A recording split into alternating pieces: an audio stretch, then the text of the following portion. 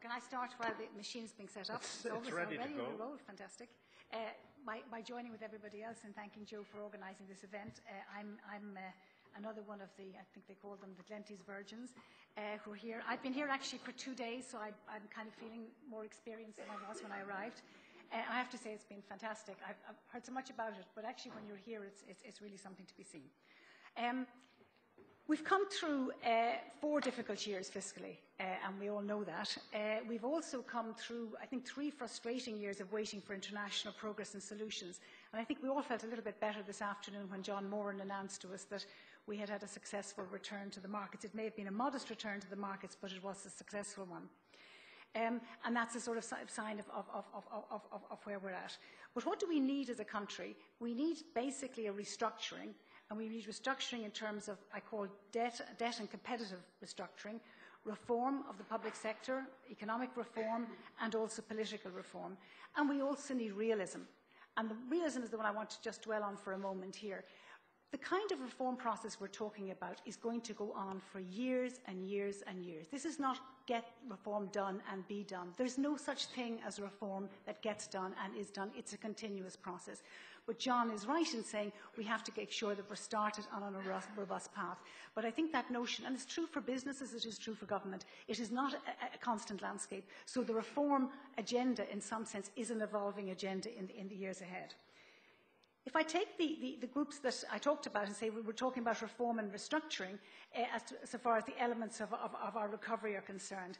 So I mentioned debt restructuring here, and by debt restructuring, I'm getting at the idea of of families restructuring, but also the country restructuring its debt. And obviously, they're very different things, but they're both part of the process of economic recovery. In terms of competitive restructuring, I'm talking about you know, changing, moving resources out of what was, was in, in, in construction and into, into newer industries where, where, which, which we have, if you like, some kind of competitive advantage in the future. And also, of course, reducing the scale of our, of our banking section, sector.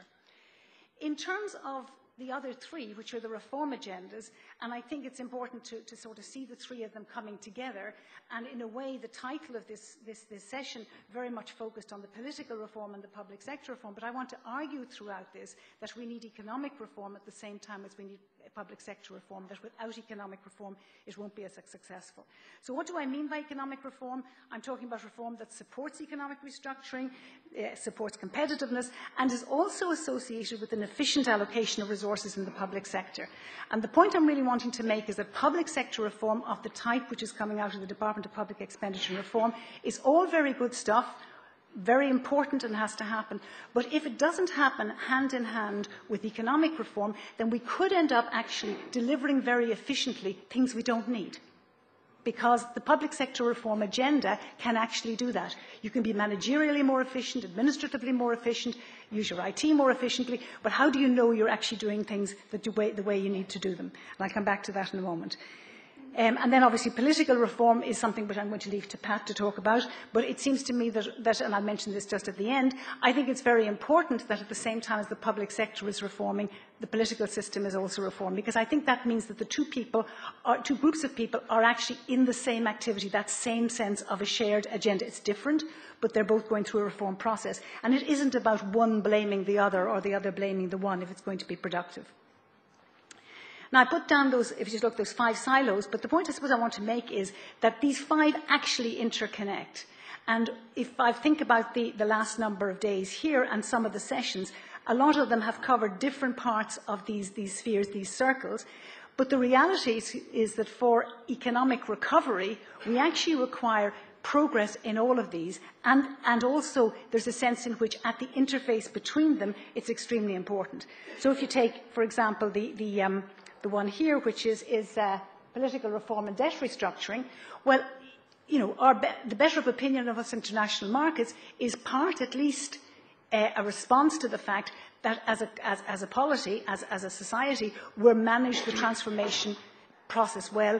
We have retained our trust in, in, in the government that we now have to bring us through that. And I think that in turn reflects on people's willingness to lend to Ireland. And the fact that there were so many new lenders today says something about a, a, create, a created effect on that side. If we take something like competitive restructuring and public sector reform, I think it plays to what John was talking about a moment ago, which is that you need an efficient public sector in order to have a competitive uh, uh, economic structure for the rest of the economy, a competitive business sector, and that in fact supports restructuring and supports competitiveness. What I'm going to do is really to focus on, for the rest of the talk, because I've got a much longer paper, um, which will be available, but I'm just going to talk, really focus on the, on the intersection, if you like, between the public sector reform and the economic reform. And as I say, public sector reform, just to be clear, what I'm talking about here is, is what's coming out of the Department of Public Expenditure and Reform. There's 200 actions, there's 70 recommendations over 14 different areas. That's a huge agenda. I'm going to come back to it. Uh, and economic reform, of course, is being driven by the Troika and, and being driven by the Cabinet Subcommittee on, on Economic Recovery and Jobs. Um, and is, as I said, it's absolutely essential that we have economic reform to make sure we're delivering appropriately the things that we need. Now, the reality is that we're starting off in, in a, a, a, space that is, is, is difficult fiscally. And before just turning to the fiscal issue, I just want to say that in the case of that, I had the arrow between the two circles, but actually what I see is the two overlapping. This is your little mini Venn diagrams that one had at school many years ago. But what I'm really trying to, to get at here is the fact that public sector reform and economic reform comes together. So let me just give you an example that's very current. The health sector. Okay, so we all know that the health sector is in deep trouble, and in particular the public sector part of it is in deep trouble with the HSE not being able to meet its, its, its budget, etc. But if you're going to look for reform in the public in, in, in the health sector, there are two distinct things you need to do. You have to start with saying, how am I funding a health sector? And that's all about economics. That's about what is the funding model you have in place to remunerate doctors, what is the, the incentives that you're creating for people to go to the GP rather than a hospital, etc. So if you just move people around and don't actually have a funding model underpinning it, then it isn't going to work. And similarly with regard to financing, you need, you need that. So there are so many areas, but health is the most obvious one, where you need to know that at the same time as you're doing all the good stuff, the HR management, the better accounting systems, the better IT, etc., etc. You need to know where you're going with the health system with regard, with regard, to, with regard to funding. So this is just the table I just want to put up, just to show you what we've done. I mean, the blue area is the, this is the 32 billion austerity package. That's the backdrop to everything. And as we know, it's, we've gone as far at this stage, we're in 2012, which is the green area, and we're doing 3.8 billion this year. We've done the lion's share of it. We've done 20 billion of it already, which is, is, is, is the blue. And it's very striking to note how much of it was done in 2009. I mean, that was the, really the very, very major, major, major adjustment. But we have this pink area still to go through if we're to meet these targets, and assuming that they don't, don't change, we still have to meet these, these numbers in, in, in the next three years. And I suppose my argument really is that if we're to do this without damaging the economy and without damaging the public sector further, we need to do reform. We can't just simply do salami slicing and cutting back on, on numbers. It must be more, it must be stronger than that. And that's really why the reform agenda is so important. So what does successful reform, reform require? It requires, as I said already, that it's continuous and it's not big bang. People I know who are very experienced in, in, higher education reform internationally and health reform internationally all point to the fact that the big bangs don't work. The dramatic big structural changes don't actually deliver on the day. The successful countries are the ones who, who, have a strategic direction and increment slowly. And I know John wants us to go very fast, but the reality is getting it slowly and incrementally right and staying with it, the sustainable piece, which I agree with them on, is absolutely central. In today's world, since people are paying taxes and are under a very difficult situation, it has to be user-centred. And user-centred very often means a lot of mundane items that actually don't make the news, aren't going to be covered by the media, but in fact are actually vital to deliver an improved service to the people who are out there. And I think that's a real difficulty for the government at the moment. It's a real difficulty for public expenditure and reform. They list all these things. They're not going to get any you know, taxpayer sitting up in bed really excited about what they're doing, but actually to make their lives better, that's what's needed. It has to be focused on reducing inefficiencies, and I suppose there's two kinds of inefficiencies here. There's the ones we all see, which is the road being dug up that was resurfaced a few months ago, uh, the waste of empty buses running on routes all the time, these kind of things that, that, that, that the consumer sees and the user sees, and is actually very offensive in, in, in, in the current environment. And it's, but it's also the type of hidden inefficiencies which economists worry about, the fact that, that, that you know, we want to increase uh, day patient rates for hospitals uh, so that people aren't actually staying overnight. Yet the hospitals themselves have an incentive to get you in overnight because then they get money for the bed either from the government or from the VHI or whichever the insurance company is. So there's a whole set of perverse incentives there. And then the final one is, is around rebuilding, rebuilding trust. And I put at the bottom here, it's not just a public sector issue. There's a lot of organisations, and the banks obviously come to mind, which also need to rebuild trust and actually face the same kind of reform agenda as, as, the, as, the, as the public sector does. So if we combine the public sector reform and economic reform, what does that actually mean? Well, for me, it means starting at the correct point of the analysis. Now, you hear words all the time in the public, public sector agenda of we want to outsource more, more shared services, privatisation all these words. I think we need to start, stand back a little bit and say, let's consider in each case what it is we need. We shouldn't be driven by the past, driven by ideology, driven by flavour of the month, or fashion as to what it is out there. We look at it coldly on an evidence base and do it on that, on that side. For that, we need more, more system, system, systematic uh, use of evidence in terms of what we do. And Ireland is very weak in that, extremely weak. And I've, I've examples in the paper from the health sector and the higher education sector, which will show you how weak that, that, that that, structure is. And in fact, we lack fundamentally a data infrastructure. So we're not just, you know, people in, in, in government departments, and I chaired a committee many years ago where, where the, the public servants all thought that data was something you got from the CSO. They didn't realise that their department was sitting on the main data they needed to improve policy and make good policy. Government is now committed to a, a, data, a data strategy for every department, and I think it's hugely important that that actually comes about. It's something the CSO would be involved in. But then we've got one thing with us, uh, which is, is that to make this really useful, we have to things called unique identifier and geo, unique identifiers and geocodes, because that's to tell us where the clusters, let's say, of poverty are, or the bad housing is, or the bad water is. It's also telling us which people are connected with different kinds of, of, of, of questions across the whole society. That's a, a, a key thing that's been talked about now in Ireland for, I think, 25 years is my last count. For some reason it hasn't happened, but to get the value of the data, it's absolutely essential. Kind of boring, kind of nerdy, kind of anarchy, but it's real. And then finally, we need, as I said already, efficient delivery, but we need to make sure it's of what we want to deliver. Now, in order to do that, and there's been a lot of focus yesterday, there was a discussion of the problem in the public sector of, of, of lack of managers. And I think, yes, there's definitely an issue, and, and Robert Watt talked about this extremely openly. Um, but ultimately, we have to address the generalist legacy that this government has inherited that's been going on for now for over 30 years of not hiring skilled right across the system.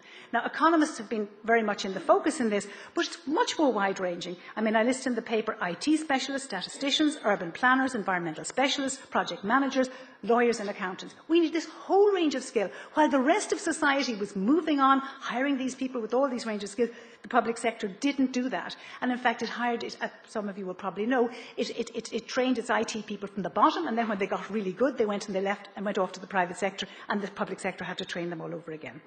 So we have the challenges then of hiring new skill sets, but hiring them into a structure which doesn't have a place for them is really risky. So if you bring in the lawyers, you've got to make sure you've got something to get them focused onto. Likewise for the economists and the, and the, and the accountants. You need a structure. If you're setting up an IT, you've got to work out how is it we're going to, we're going to actually deliver and, and do that. Where are we going to source the senior specialists in order to get it started? And how are we going to deal with the question of outward mobility? Because historically the public sector has thought of bringing people in young and they stay until much later on in their careers. They haven't thought about bringing them in later until, until, until very recently. To do all of this hiring of these skills means the employment control framework has to be operated intelligently.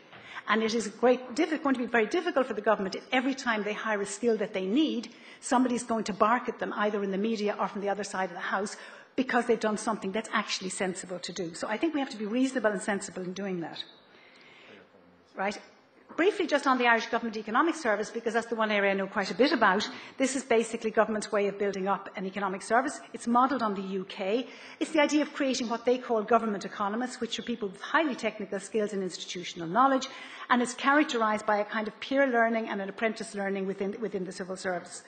Um, how, would, how will, will ours, I've raised the question here, will our Aegis, I think is what it's unfortunately been titled. Uh, with the second E standing for evaluation, will it operate like the UK one? I have some doubts that that's going to happen quite as well. The word evaluation is in there. If evaluation means that we're suddenly going to be very positive in evaluating cost-benefit analysis of this, that and the other, right across the system, I think that's terrific. If it means that they're going to restrict economists to doing just evaluation work, I think then we're heading then for a disaster because it's at the design stage that very often economists can make major contributions. We need, in fact, to encompass both the civil service and the public service, which is what the UK does, and that's where you create a career path for people who are in there as government economists. Just harnessing skills within in the public service, and I think this is really a, a, crucial thing for us. I've already touched on it, that we need to use the skill sets when we get them into best advantage. At the moment, there's a lot of people out there who don't like lawyers and accountants. They see them as people who are actually doing well no matter what happens. If the economy is up, they do well. If the economy is down, they seem to do well. But the reality is that legislation is very slow getting drafted. Is that due to a shortage of lawyers? We haven't moved over to accrual accounting. We're you know, two decades behind the UK, who were again decades behind others. We haven't done that. Is that a shortage of accountants? And are we much better off doing that? Other question, is there an open environment in government? Because I think if you're going to hold on to good people, if you're going to actually have, have people who are the drivers of change in there, is that environment open to open thinking and, and, and, and reflective thinking? And I think those of us who sat listening to John Moran today would say, that's a breath of fresh air. Robert Watt yesterday, yes, that's another breath of fresh air. So I think one thing you might look to, Joe, is to see how many other breath of fresh airs you can invite up over the coming years from other departments. Finally, the issue of groupthink, I think is just worth a mention here. And I do think that, this, that, the civil service has to think about how it manages that. It's around the cultural change that, that John focused on, but it, it, is, it is very important. I'd like to make just two brief suggestions there. One is more use of peer review to look at the background papers that are being prepared for, for civil servants so that they can actually have an open view and look at the way academics do, where you critique and look and see what's wrong or what can be improved with this particular model. But the second one I want to mention is devil's advocate role. I think our system very badly needs within government departments the appointments of devil's advocates who sit at meetings, whose job is actually, and you're announced you, you're the devil's advocate today, you're it next week, you're it the week after, and your job is actually to pick holes in the arguments that are presented. That's the way of making a culture change so that people are comfortable, not with consensus, but are comfortable with recognising that there are criticisms out there. One minute. Uh, minimising risk in the reform process. I know we're all very keen to see change moving quickly uh, and change happening, but the reality is that it, it's, it's irresponsible to move faster than the system can manage. It is just simply irresponsible. Modern risk management would say you shouldn't do it. So I think it's important that there are 200 items identified. I think somebody needs to prioritise and say which are the ones we're going for, what's the sequence, and we must pace and sequence appropriately. I think there's a big issue for ministers that there's pressure on them for action. And once you've listed out, as in the case of the public sector reform agenda, 200 items, you're going to have any day any, any, any individual asking, well, where's your progress on each of those 200 items? I think it was open to, a good idea to put them out there, but there is a problem with it. There's pressure then on public servants, possibly to mask the shortage of evidence. Because as I said to you, we don't have the data, so I'm not sure how we can have the evidence. And what we'd like to look forward to is a situation where actually a civil servant would say, well, look, we're not quite ready to wait that. We need a couple of more months to actually find out what it is we should be doing by analysing our own data to deliver. And that brings me to the point about an asymmetry in relation to the critique with regard to action. In Ireland, if you do something and you get it even slightly wrong, you're absolutely dumped on and that it is an asymmetry there that if you don't do anything and nothing happens, you don't get blamed. And that came up a number of times at, at, at presentations yesterday, and I think it's a, re- it's a real issue. And it has to be somehow or other built into the system of rewards and structures within the civil service if that's to change. Ah, this happened again.